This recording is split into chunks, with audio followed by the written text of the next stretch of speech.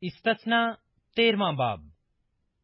اگر تیرے درمیان کوئی نبی یا خواب دیکھنے والا ظاہر ہو اور تجھ کو کسی نشان یا عجیب بات کی خبر دے اور وہ نشان یا عجیب بات جس کی اس نے تجھ کو خبر دی وقوع میں آئے اور وہ تجھ سے کہے کہ آ ہم اور معبودوں کی۔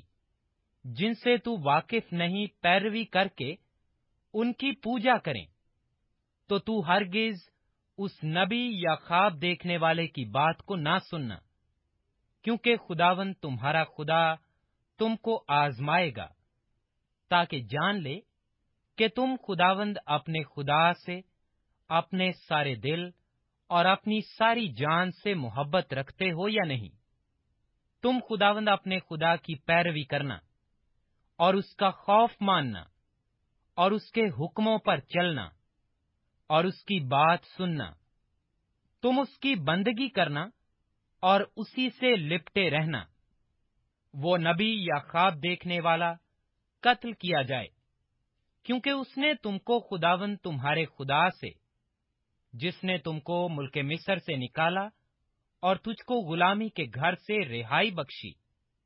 بغاوت کرنے کی ترغیب دی تاکہ تجھ کو اس راہ سے جس پر خداون تیرے خدا نے تجھ کو چلنے کا حکم دیا ہے، بہکائے۔ یوں تو اپنے بیچ میں سے ایسی بدی کو دور کر دینا۔ اگر تیرا بھائی یا تیری ماں کا بیٹا، یا تیرا بیٹا یا بیٹی، یا تیری ہم آغوش بیوی، یا تیرا دوست جس کو تو اپنی جان کے برابر عزیز رکھتا ہے، تجھ کو چپکے چپکے پھسلا کر کہے کہ چلو ہم اور دیوتاؤں کی پوجا کریں۔ جن سے تو اور تیرے باپ دادا واقف بھی نہیں یعنی ان لوگوں کے دیوتا جو تمہارے گردا گرد تیرے نزدیک رہتے ہیں۔ یا تجھ سے دور زمین کے اس سرے سے اس سرے تک بسے ہوئے ہیں۔ تو تو اس پر اس کے ساتھ رضامند نہ ہونا اور نہ اس کی بات سننا۔ تو اس پر ترس بھی نہ کھانا اور نہ اس کی رعایت کرنا اور نہ اسے چھپانا، بلکہ تو اس کو ضرور قتل کرنا اور اس کو قتل کرتے وقت پہلے تیرا ہاتھ اس پر پڑے۔ اس کے بعد سب قوموں کا ہاتھ، اور تو اسے سنسار کرنا تاکہ وہ مر جائے، کیونکہ اس نے تجھ کو خداون تیرے خدا سے، جو تجھ کو ملک مصر سے یعنی غلامی کے گھر سے نکال لایا، برگشتہ کرنا چاہا۔ تب سب اسرائیل سن کر ڈریں گے، اور تیرے درمیان پھر ایسی شرارت نہیں کریں گے۔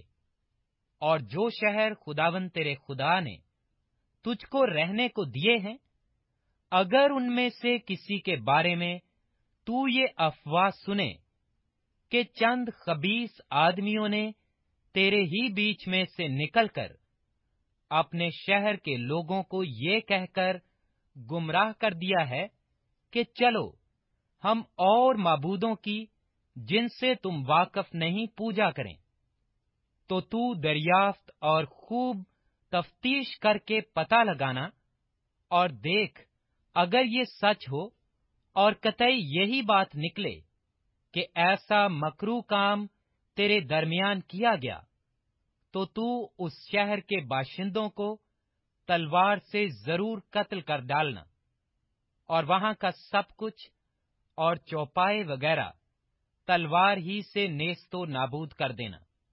اور وہاں کی ساری لوٹ کو چوک کے بیچ جمع کر کے اس شہر کو اور وہاں کی لوٹ کو تنکا تنکا خداوند اپنے خدا کے حضور آگ سے جلا دینا اور وہ ہمیشہ کو ایک ڈھیر سا پڑا رہے اور پھر کبھی بنایا نہ جائے اور ان مخصوص کی ہوئی چیزوں میں سے کچھ بھی تیرے ہاتھ میں نہ رہے۔ تاکہ خداوند اپنے کہرے شدید سے باز آئے اور جیسا اس نے تیرے باپ دادا سے قسم کھائی ہے، اس کے مطابق تجھ پر رحم کرے اور ترس کھائے اور تجھ کو بڑھائے۔ یہ تب ہی ہوگا جب تو خداوند اپنے خدا کی بات مان کر اس کے حکموں پر جو آج میں تجھ کو دیتا ہوں چلے اور جو کچھ خداوند تیرے خدا کی نظر میں ٹھیک ہے اسی کو کرے۔